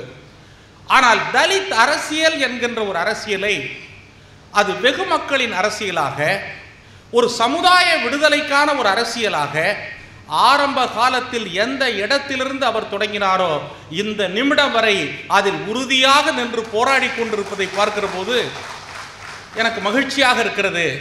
அந்த நூலுக்கும் இதற்கும் தொடர்பு இருக்கிறது. திருமா அவர்கள் ஒரு இயக்கத்தை வலிமை மிகுந்த ஒரு இயக்கத்தை கட்டி அமைத்திருக்கிறார். அந்த வலிமை மிகுந்த இயக்கம் பல சோதனைகளை எல்லாம் கடந்து வருவதற்கு என்ன காரணம் என்று சொன்னால் அதனுடைய தலைவருக்கும் அந்த இயக்கத்துக்கும் இருக்கக்கூடிய சித்தாந்த தெளிவுதான் காரணம். பல பேர் ஆரவாரமாக புறப்பட்டார்கள் ஒடுக்கப்பட்ட மக்களுக்காக. சித்தாந்த தெளிவின்மையின் காரணமாக அவங்க இன்னைக்கு எங்க இருக்கிறாங்கங்கிறதெல்லாம் நமக்கு ரொம்ப தெளிவாக தெரிகிறது. தலித் அரசியலினுடைய வீழ்ச்சிக்கு காரணம் சித்தாந்த தெளிவின்மை.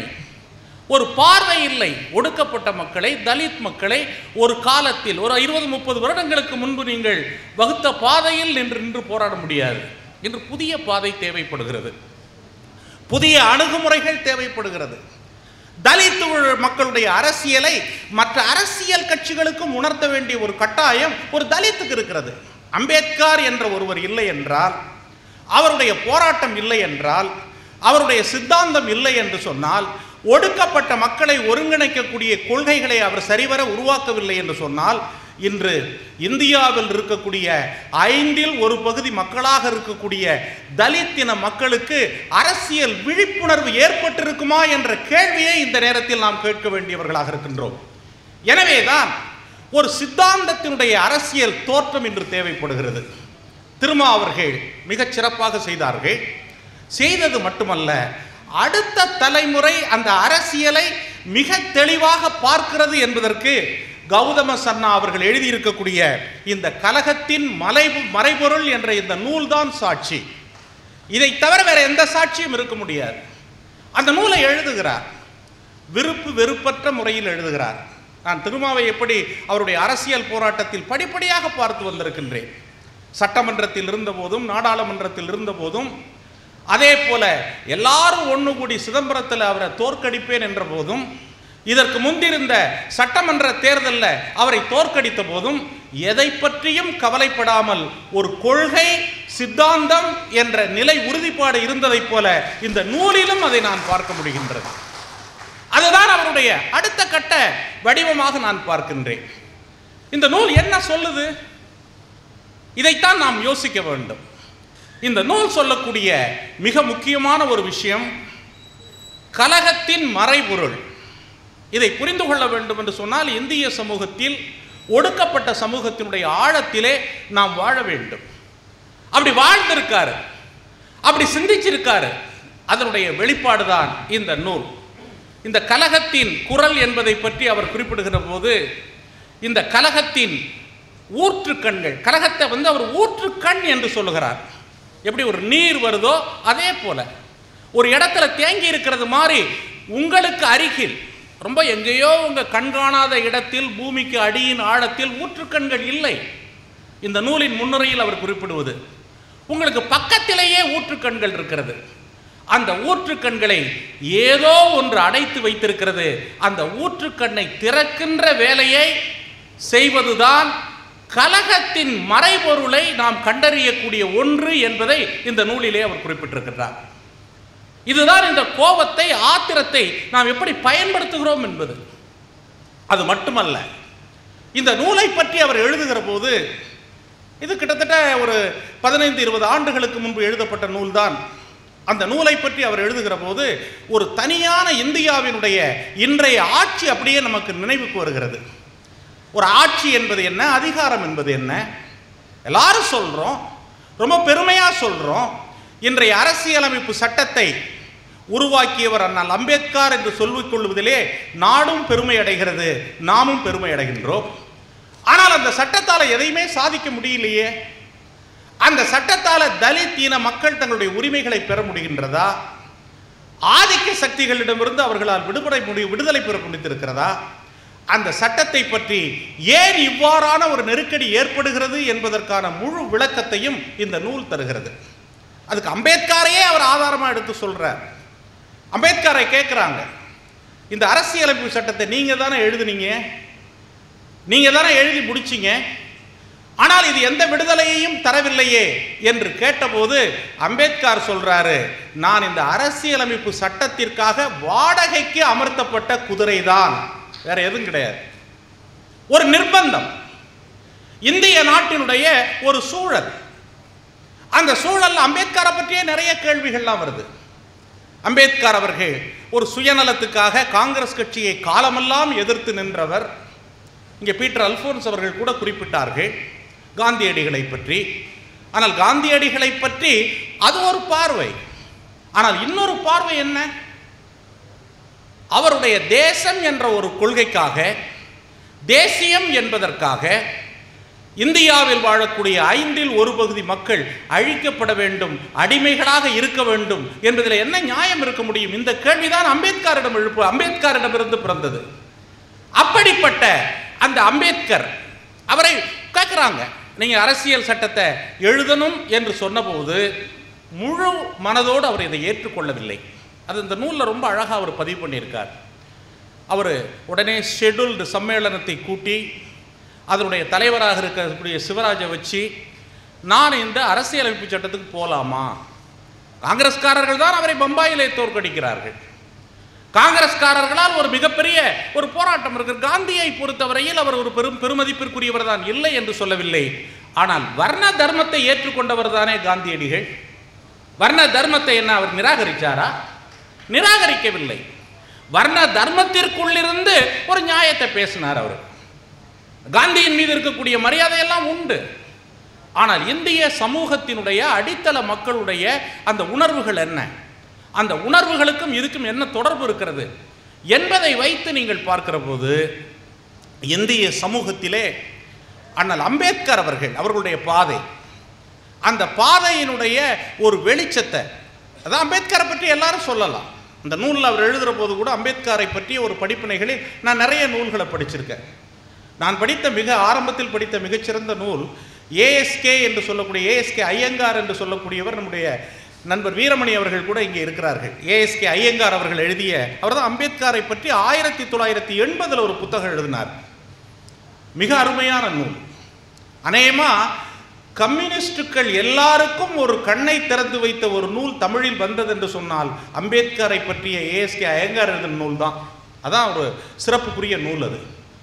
ஆனால் அந்த அப்படிப்பட்ட அந்த அம்பேத்கர் அவர் ஏன் வந்து அவருடைய கஷ்டங்கள் துயரங்கள் இதெல்லாம் ஒரு தனி மனிதனுடைய நேர்மையா இல்லையாங்கிற கேள்விக்குள்ளே கொண்டு போய் அவரை நிறுத்தினாங்க.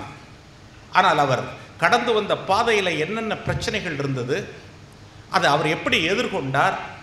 எப்படி அவர் தானே தன்னுடைய ஆசைக்காக அதை செய்தாரா? ஒரு சமூகத்தின் விருப்பமாக அதை செய்தாரா? என்பதை பற்றிய பதிவுகள் எல்லாம் இந்த நூலில் மிக தெளிவாக அது முன்வைக்கப்பட்டிருக்கிறது. அப்ப அம்பேத்கரிலிருந்து நம்முடைய அரசியலமைப்பு சட்டத்தை நாம் பார்க்கின்றோம். என்ன மாதிரியான கட்டுமானம்? இன்னைக்கு இருக்கக்கூடிய அரசாங்கத்துக்கும் தலித் இன மக்களுக்கும் ஒடுக்கப்பட்ட மக்களுக்கும் என்ன தொடர்பு இருக்கிறது? என்ன ரிலேஷன் அம்பேத்கர் ஜனநாயகத்தை நன்கு அறிந்தவர். ஒவ்வொரு காலத்திலும் ஏதோ ஒரு விதத்திலே தலித் மக்களை தனிமைப்படுத்தக்கூடிய ஒரு அரசியல் வருகிற போது தலித் மக்களை ஆற்றல் படுத்தக்கூடிய ஒரு அரசியலுக்கான ஒரு பாதையை அவர் முன்வைத்தார். அதுக்கான ஒரு தொடர்ந்த முயற்சி. அந்த முயற்சி என்ன என்பதை பற்றி பேசக்கூடிய நம்முடைய கௌதம சன்னா இன்றைய காலத்தில் அதை பிரதிபலிக்கிறார். அம்பேத்கரிலிருந்து தொடங்கி அதற்கு ஏற்பட்ட தலித் இயக்கங்கள் எல்லாவற்றையும் இணைத்து இன்றைய காலத்தோட பொருத்தி பார்க்கிறார். இன்றைய காலத்தில் பொருத்தி பார்க்கிற போது அவர் சொல்லுகிறார் இன்றைய அரசு என்பது மக்களுடைய தேவைகளை நிறைவேற்றக்கூடிய ஒரு அமைப்பாக இல்லை. வெறும் நிர்வாகத்தை மட்டும்தான் அது நடத்திக்கிட்டு இருக்கு. இந்த நிர்வாகத்தை இது நடத்துகிற போது இதை இதை இவர் பார்க்கறதுக்கு ஒரு காரணம் என்ன அப்படின்னு கேட்டிங்கனாக்க இவருக்கு ஒரு நல்ல அரசியல் புரிதல் இருக்கிறது. முதலாளித்துவம் என்றால் என்ன? ஏகாதிபத்தியம்னா என்ன? கார்ப்பரேட் முதலாளித்துவம் என்றால் என்ன? என்று முதலாளித்துவத்தினுடைய வகைப்பாடுகளை பற்றிய ஒரு சரியான பார்வை இருக்கிறது. நான் அறிந்த வரையில் கார்ல் மார்க்ஸையோ அல்லது மார்க்சிசத்தையோ தெளிவாக அறிந்து கொண்ட அறிஞர்களில் ஒருவராகத்தான் கௌதம சென்னாவை இந்த நூலை படித்ததற்கு பிறகு நான் உணர்ந்து கொள்கிறேன். அதே போல அம்பேத்கரை பற்றி. அதை வைத்து அவர் சொல்லுகிறார் இந்த கவர்மெண்ட் லெனின் கூட சொல்லுவார் அரசு என்றால் எப்படி இருக்கிறது அப்படின்னு. அரசு என்பது ஒரு வன்முறை ஆயுதம். ரொம்ப தெளிவாக சொல்லிட்டாங்க. இதெல்லாம் வந்து ஜார்மன்னன் காலத்தில் இருந்தது. ஆனால் மோடி காலத்தில் அரசு எப்படி இருக்கு? இந்திய அரசு எப்படி இருக்குது அதனுடைய கொடிய கரங்கள் எப்படியெல்லாம் செயல்படுகிறது? அதுக்கு உள்ளிருந்து தரக்கூடிய சக்தி எது? வெளியிலிருந்து தரக்கூடிய சக்தி எது?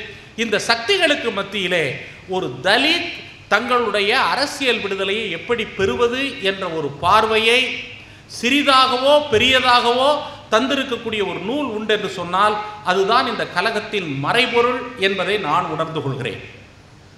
அவர் சொல்றார் முதலாளித்துவம் அப்படிங்கிறத பற்றி மார்க்சிசத்தை ரொம்ப நன்கு தெரிந்தவர்கள் தெரிவார்கள். முதலாளித்துவத்தை ஒரு முற்போக்கான ஒரு சமூக அமைப்பு என்று குறிப்பிடுவார்கள்.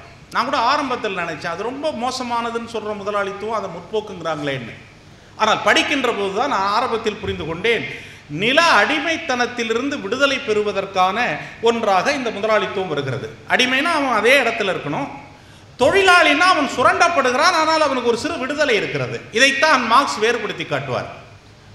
அப்ப முற்போக்கானது என்று சொல்லுகிறீர்கள். அதே நேரத்தில் அது ஏகாதிபத்தியமாக மாறுகிற போது முதலாளித்துவத்தின் மிக மோசமான இழிநிலையை கொண்டதாக அந்த ஏகாதிபத்தியம் இருக்கிறது என்பதை அவர் குறிப்பிடுகிறார். இது வந்து ஒரு மார்க்சியமோ அல்லது பொருளாதாரத்தை சாதாரணமாக புரிந்தவர்களால் எழுத முடியாது. அதை எழுதிட்டு அடுத்தது கார்ப்பரேட் போறார். இந்த கார்ப்பரேட்டால எப்படி நம்ம இயக்கப்படுறோம்? என்ன செய்யப்படுறோம்? இன்னைக்கு இருக்கக்கூடிய ஆர்எஸ்எஸ்ல இருந்து ஒவ்வொன்றும் எப்படி இயக்குகிறது என்பதை பற்றிய ஒரு பார்வை. அதுல மிக ஆழமாகவும் மிக தெளிவாகவும் அவர் முன்வைத்திருக்கிறார். அப்ப இந்த அரசாங்கம் அரசுங்கிறது எப்படி ஒடுக்கப்பட்ட மக்களை எப்படி பலவாறாக பிரிக்கிறது? அதில் அவர் கை கையாண்டிருக்கக்கூடிய சில சொற்கள் எனக்கே ஆச்சரியமாக இருக்குது பொதுவாக சொல்லுவோம் பிராமணர் பிராமணர் அல்லாதவர் அப்படிங்கிறத நம்ம கேள்விப்பட்டிருக்கோம். இவர் ஒரு தலைப்பில் அவர் குறிப்பிடுறாரு தலித் தலித் அல்லாதவர்கள். நல்ல யோசனை பண்ணி பாருங்க. பிராமணர் பிராமணர் அல்லாதவர் it is a separate classification இவருடைய கிளாசிஃபிகேஷன் இவர் பகுப்பாய்வு செய்திருக்கிற முறை என்னவென்றால் தலித் தலித் அல்லாதவர்கள். இதை பற்றி ஒரு பெரிய விவாதமே நடக்குது. புதிய கோடங்கி என்று நினைக்கின்றேன்.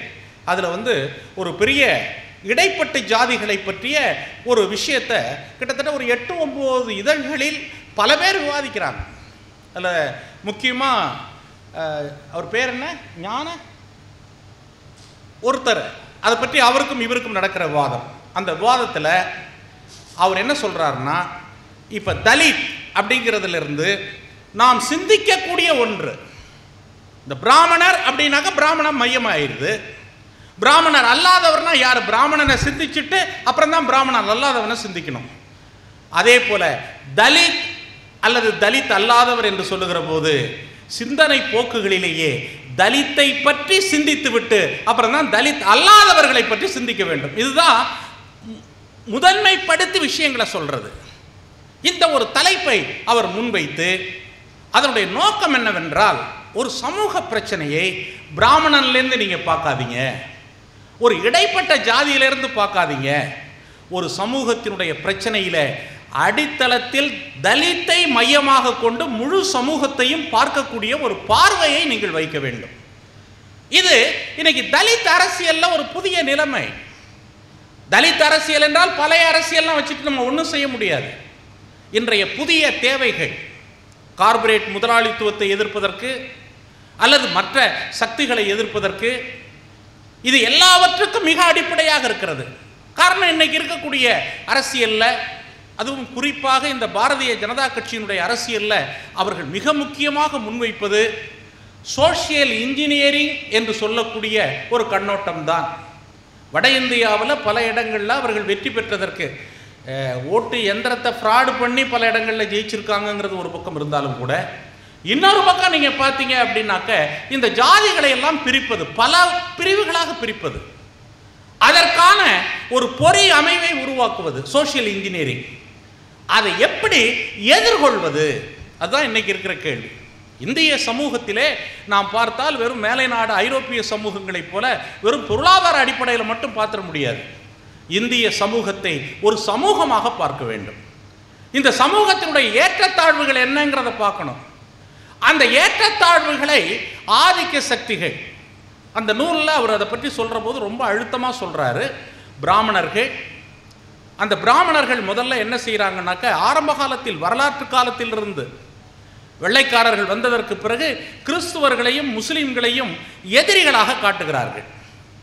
எதிரிகளாக காட்டிட்டு தலித் மக்கள் அதே போல பிற்படுத்தப்பட்ட மக்கள் அதே போல பெண்கள் இவர்களெல்லாம் அவர்களுக்கு தெரியாமலேயே இந்துக்கள் என்கின்ற ஒரு எல்லைக்குள்ளே கொண்டு வர்றார். இங்கே தான் நம்ம யோசிக்க வேண்டிய ஒன்று இருக்குது இன்று கூட காங்கிரஸ் கட்சியை சார்ந்தவர்களோ பொது புத்தியில் இருக்கிறவர்களோ ஒரு எல்லாருமே நாமெல்லாம் இந்து தானே அப்படின்னு சொல்கிறாங்க இவர் அந்த நூலில் அழுத்தமாக சொல்கிறார் எப்படி என்ன எப்படி இந்துன்னு நீங்கள் சொல்லுவீங்க? எப்படி சொல்லுவீங்க? அதான் கேட்டாங்க நான் எப்படி அரிஜன்னு நீ சொல்லுவேன்னு காந்தியை கேட்டாங்க. நான் யார்? எனக்கு என்ன சமூகத்தினுடைய அடையாளம் இருக்கிறது? நீ சொல்லக்கூடிய இந்துக்கும் எனக்கு என்ன சம்பந்தம் இருக்கிறது? ஒரு சம்பந்தமும் கிடையாது. ஆனால் ஒரு சம்பந்தம் இல்லாத ஒன்றை நீ இந்து என்று சொல்வதற்கு காரணம் என்ன? கௌதம சன்னா தன்னுடைய நூலில் மிக வலிமையாக சொல்கிறார் ஆயிரத்தி தொள்ளாயிரத்தி முப்பதாம் ஆண்டு வட்டமேஜை மாநாட்டிலே பெருமதிப்பிற்குரிய அண்ணல் அம்பேத்கர் அவர்கள் முன்மொழிந்த ஒரு கருதுகோளை முன்வைக்கின்றார். அந்த கருதுகோளில் அவர் சொல்றாரு தலித் மக்களுக்கு எண்ணிக்கையில் நாங்கள் பெரும்பான்மையாக இருக்கோம்.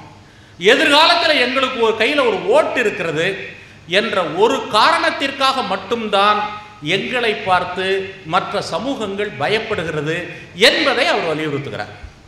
அப்போ இந்துங்கிற ஒன்று ஒரு தலித்தையோ ஒரு பிற்படுத்தப்பட்டவரையோ மற்றவர்களையோ பெண்களையோ இந்துக்கள் என்று அவர்கள் சொல்லுகிற போது அவருடைய கௌரவத்தை கொடுக்கறதுக்காக அல்ல. அவன் கையில் இருக்கக்கூடிய ஓட்டுக்களை வாங்கி ஆட்சி அதிகாரத்தை கைப்பற்றுவதற்காக செய்யக்கூடிய ஒரு சூழ்ச்சி. இதுதான் இன்றைய புதிய தலித் அரசியலினுடைய முக்கியமான பகுதி. தலித் அரசியல்னா என்ன? தலித் அரசியல் என்றால் தலித் ஒன்று கூடுவதல்ல ஒருங்கிணைவது அல்ல அரசியலாக நிற்பதுதான். அரசியல் உரிமை தான் அந்த அரசியல் அதிகாரம்தான். அந்த அரசியல் அதிகாரம் முழு தலித் மக்களுக்கும் கிடைத்திருக்கிறதா? ஏமாத்திக்கிட்டே வர்றாங்க. எங்கே ஏமாத்துறாங்கன்னு நமக்கு தெரியுது. யார் ஏமாத்துறாங்கங்கிறது தெரியுது. அப்படிப்பட்ட ஏமாற்றுத்தனங்களை எதிர்த்து போராடக்கூடிய ஒரு உள்கட்டமைப்பை எப்படி உருவாக்குவது என்பதற்கான ஆழமான விதைகளை இந்த நூல் பெற்றிருக்கிறது. இதுதான் இந்த நூலினுடைய சிறப்பு. இப்படி பல விஷயங்களை சொல்ல முடியும். மிக ஆழமாக அவை எல்லாவற்றையும் அவர் முன்வைத்திருக்கிறார். நவீன காலத்தினுடைய ஒவ்வொரு தன்மைகள் பட்ஜெட் என்று சொன்னால் அந்த பட்ஜெட்டில் எப்படி தலித் மக்கள் ஏமாற்றப்படுறாங்க? அதனுடைய உள் விஷயங்கள் எப்படி இருக்கு? அதே போல ஒவ்வொரு விஷயத்திலும் எப்படி ஏமாற்றப்படுகிறார்கள்? என்பதை பற்றிய தெளிவெல்லாம் அவர் முன்வைத்திருக்கிறார். இந்த நூலில் எனக்கு ஒரு சின்ன கருத்து வேறுபாடு உண்டு. அது கீழ வெண்மணியை பற்றியது. நானே அவர்கிட்ட சொன்னேன். ரெண்டாயிரத்தி ரெண்டாம் ஆண்டு நம்முடைய பெருமதிப்பிற்குரிய திருமா அவர்கள் அங்கே போன போது அவர் தடுக்கப்பட்டார். உண்மையில் இந்திய கம்யூனிஸ்ட் கட்சியின் சார்பில் அதற்காக என்னுடைய வருத்தத்தை நான் தெரிவித்துக் கொள்கின்றேன். சொல்லுகிறேன் வரலாற்றில் ஒவ்வொரு விஷயத்தையும் நாம் கரெக்ட் பண்ணிக்கணும். கீழவெண்மணி விஷயத்தை பொறுத்தவரையில் அதற்கு ஒரு மறு வாசிப்பு தேவைப்படுகிறது என்று நான் கருதுகின்றேன். என்னை பொறுத்தவரையில் அதுதான். கீழவெண்மணியினுடைய பிரச்சனை அதை பார்க்கக்கூடிய பார்வை கம்யூனிஸ்டுகள் பார்க்கக்கூடிய பார்வை தலித் முன்னோடிகள் தலித் போராளிகள் பார்க்கக்கூடிய பார்வை இவை எல்லாவற்றையும் ஒரு மறுவாசிப்பு செய்வது அவசியம் என்கின்ற கருத்து அண்மை காலத்தில் எனக்கு ஏற்பட்டது. காரணம் என்னவென்றால் ஆயிரத்தி தொள்ளாயிரத்தி அறுபத்தி எட்டிலே கீழவன்மணி நடைபெற்றது கீழவன்மணிக்கு முன்பு கீழவன்மணிக்கு பிறகு என்று இரண்டாக அதை பிரித்து பார்க்கலாம். நான் தஞ்சை மாவட்டத்தில் பிறந்தவன். தஞ்சை மாவட்டத்தினுடைய முழு சூழலையும் அறிந்தவன் ஆயிரத்தி தொள்ளாயிரத்தி நாற்பத்தி நான்காம் ஆண்டு ஒரு ஒப்பந்தம் ஏற்படுகிறது. இந்த ஒப்பந்தத்துக்கு பேர் கலப்பால் ஒப்பந்தம் என்று பெயர். மன்னார்குடியிலே இருக்கிறார்கள். தலைமறைவு வாழ்க்கை நடத்தக்கூடிய சில பேர் அந்த கையெழுத்து போடுறாங்க. அதில் நெல் பற்றிய பிரச்சனை வருது கூலி. அதுக்கு அடுத்தபடியாக அவர்கள் முன்வைப்பது சவுக்கடி சாணிப்பாலை ஒழிக்க வேண்டும் என்பதுதான். அது கிட்டத்தட்ட ஒரு தீமா தீண்டாமையினுடைய குறியீடு தான் அதுக்கு பிறகு பல போராட்டங்கள். ஆனால் எண்பதுக்கு பிறகு என்ன ஆகுது வருது வருது அப்படின்னாக்க பொதுவான பொருளாதார போரா போராட்டம் ஜாதிய ஒடுக்குமுறைக்கு எதிர்ப்பான போராட்டம் என்ற நிலை மாறி தலித் மக்களுடைய தலித் அரசியல் என்ற ஒன்று வருகிறது. அதை கம்யூனிஸ்டுகள் சரியாக பார்க்க தவறியதால் பல பிரச்சனைகள் வந்திருக்கிறது. அதை நான் உணர்கிறேன். என்னால் உணர முடிகின்றது. எந்த இடத்துல எப்படி திரட்டுறது? காலம் மாறுற போது நீங்க எப்படி மாறாம இருப்பீங்க? ஆயிரத்தி தொள்ளாயிரத்தி ஐம்பதுகளில் ஒரு அரசியல் இருந்தது என்றால் அது அன்றைய காலம். ஆயிரத்தி தொள்ளாயிரத்தி எண்பதுகளில் ஒரு அரசியல் இருக்கிறது என்றால் அது ஒரு காலம். கால மாறுதலுக்கேற்ப அரசியலை மாற்றி அமைப்பதுதான் ஒரு உண்மையான போராளியின் கடமையாக இருக்க முடியும். அப்ப இப்படிப்பட்ட பல அம்சங்கள் இப்போ இந்த சிகப்பு துண்டு நான் போட்டிருக்கேன்னாக்க இதுக்காக ஒரு பத்து பதினைந்து ஆண்டுகள் தலித் மக்கள் துண்டு அணிய வேண்டும் என்கின்ற ஒரு போராட்டத்தினுடைய வெளிப்பாடு தான் அது. இப்படி நிறைய சொல்ல முடியும். அப்படி பேசினா ஒரு பழம் பெருமையாக இருக்கும். அதற்கு பிறகு குறைபாடு இருக்கானா? குறைபாடும் இருக்கலாம். அப்போ கீழ வெண்மணியை பற்றி ஒரு மறுவாசிப்பு வேண்டும் என்ற உணர்வு நான் மீண்டும் எனக்கு ஏற்படுகிறது. கௌதம சன்னா அவர்களுக்கும் அதை நான் தெரிவித்துக் கொள்கிறேன். மீண்டும் அதை பற்றியெல்லாம் நம்ம பேசலாம். இந்த உரையாடல் தான் ரொம்ப முக்கியம். உரையாடலை மேலும் மேலும் செழுமைப்படுத்தி கொண்டு செல்ல வேண்டும்.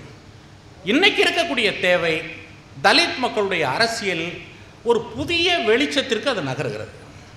அதுக்கு திருமாவுக்கு ஒரு முக்கியமான பங்கு உண்டு. ஆனால் அடுத்த கட்டமாக அதை எப்படி கொண்டு போகிறது குறைபாடு உள்ளவர்களோடு எப்படி அதை விவாதிப்பது?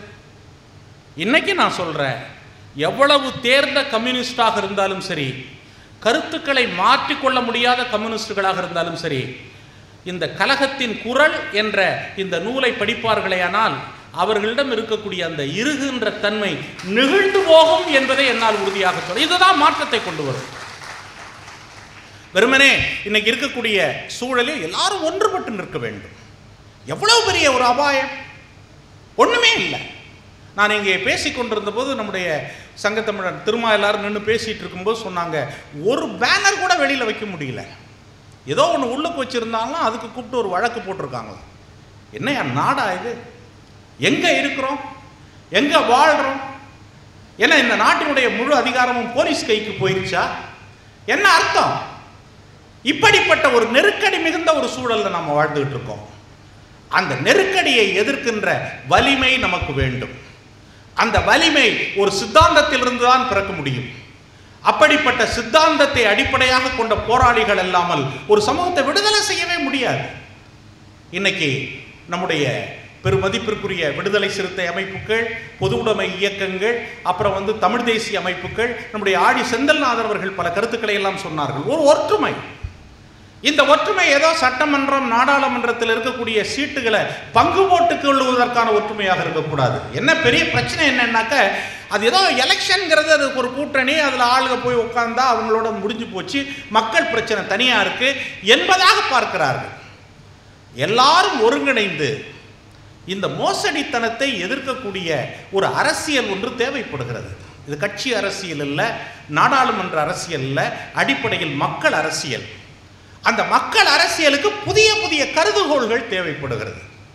நீங்கள் காரல் மார்க்ஸ் புக்கை எழுதினார்னாக்க சமகாலத்தில் எத்தனையோ பேர் எத்தனையோ முயற்சிகளை எடுத்தாங்க. அதை எல்லாத்தையும் ஒருங்கிணைத்து அவருடைய நூலை படிச்சிங்கன்னா தெரியும் எத்தனை பேர்கிட்ட அவர் அதை எடுத்து சலிச்சு சலிச்சு சலிச்சு அதை ஒரு கருதுகோளாக மாற்றினார் என்பதை புரிந்து கொள்ள முடியும். அதே போல சன்னாவை போல பல இளைஞர்கள் துடிப்பு மிகுந்த இளைஞர்கள். அவர்களை எல்லாம் நம்முடைய பெருமதிப்பிற்குரிய திருமா அவர்கள் அரவணைத்து அவர்களை பக்குவப்படுத்தி யார் யாருக்கு ஊக்கப்படுத்தணுமோ ஒரு தாயை போல நின்று அவர்களை அரவணைத்து வளர்த்தெடுப்பதை பார்க்கிற போது உண்மையிலேயே நான் மகிழ்ச்சி அடைகின்றேன். ரொம்ப ஒரு பெருமையாகவும் இருக்கிறது. இந்த மாதிரி இந்த இந்த மாதிரி நூல்கள் இந்த மாதிரி கருத்துக்கள் இதையெல்லாம் ஒரு விழா நடத்தி அந்த இளைஞர்களை ஊக்குவித்து புதிய புதிய இளைஞர்கள். நிறைய பத்திரிகைகள் பலதெல்லாம் பார்க்குற போது தலித் இளைஞர்களில் பல பேர். தலித் இளைஞர்களில் பல பேர் மட்டுமல்ல தலித் அல்லாத இளைஞர்களும் இந்த இயக்கத்தின்பால் ஒரு ஈர்ப்பு கொள்ளக்கூடிய வகையிலே ஒரு புது நிலைமை ஏற்படுகிறது. இது எனக்கு மகிழ்ச்சியை கொடுக்குது. ஏன்னா இதுதான் மாற்றங்களுக்கு காரணமாக இருக்கும். அதுக்கு இந்த மாதிரி சித்தாந்தங்கள் இந்த மாதிரி சிந்தனை போக்குகள் இதெல்லாம் ரொம்ப ரொம்ப முக்கியமானது. இன்னும் பல இளைஞர்கள் நீங்கள் முயற்சிக்க வேண்டும். அறிவு இல்லை அப்படின்னாக்க முடிஞ்சு போச்சு. அறிவால் தான் போராட வேண்டும். அம்பேத்கராக தான் சொன்னார் தமிழ் சமூகத்தினுடைய ஒட்டுமொத்தமான நான் ஐக்கிய நா உலகத்தமிழ் ஆராய்ச்சி மாநாட்டுக்கு வந்து அமெரிக்காவுக்கு போயிருந்தேன். அவங்க சுபாஷினியும் வந்திருந்தாங்க.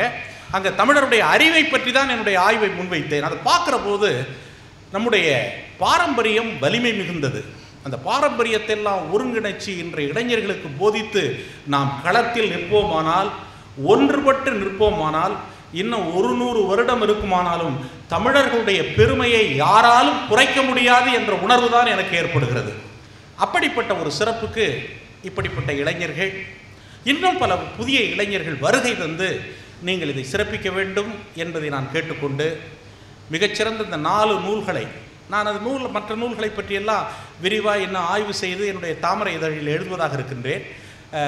இந்த நூல்கள் நாளையும் எழுதிய கௌதம சென்னா அவர்களுக்கு கம்யூனிஸ்ட் கட்சியின் சார்பில் என்னுடைய புரட்சிகரமான வாழ்த்துதலை சொல்லி என்னுடைய உரையை நிறைவு செய்து கொள்கிறேன். நன்றி வணக்கம்.